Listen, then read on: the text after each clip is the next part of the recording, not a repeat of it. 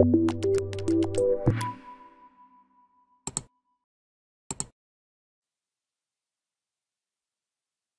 now perform a set of basic functionality testing to see if everything is working as expected. First, we perform a basic health check to test the state of nodes and pods on the system.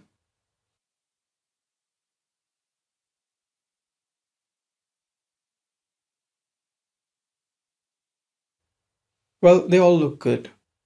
Then we test uh, data encryption. So we create a secret object with the key my key and value my data.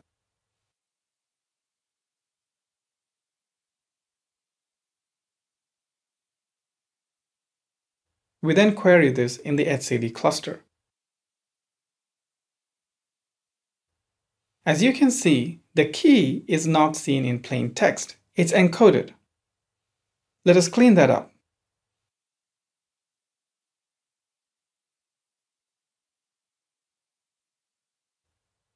We then create a deployment using the Nginx image. Wait for that to be deployed.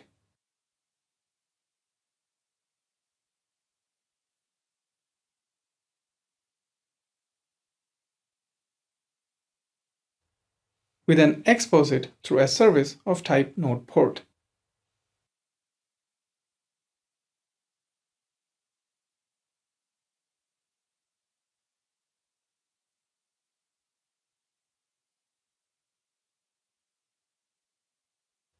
We then fetch the port number so we can use that to run a curl command, which in this case is 31518.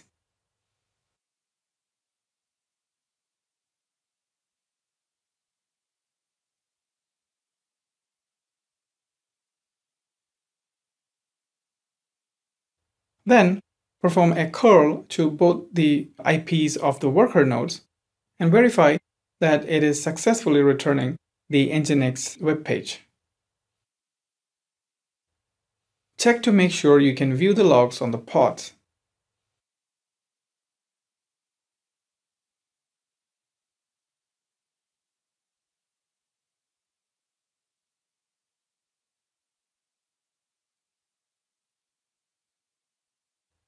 and that you can execute a command within the pod.